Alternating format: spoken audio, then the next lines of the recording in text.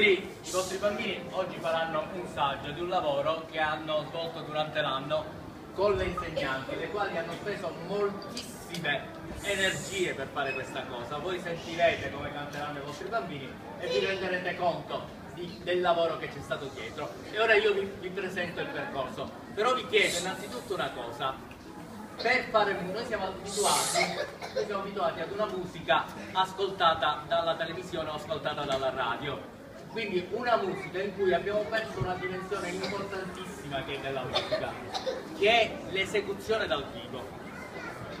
I bambini vostri eseguiranno adesso tutto rigorosamente dal vivo, canteranno e saranno accompagnati con uno strumento acustico Ah, io ho scelto di non elettrificare nulla, proprio per avere il suono il più pulito possibile. Questo è un pregio. Per arrivare al suono assolutamente dal vivo e assolutamente naturale, dobbiamo recuperare una dimensione. Questa dimensione è la dimensione dell'attenzione. Quando noi seguiamo un programma televisivo non abbiamo molta attenzione. Noi possiamo alzarci, fare un'altra cosa, ritornare, il programma è là se vogliamo possiamo anche riascoltarlo dopo tempo. Non è così l'esecuzione dal vivo.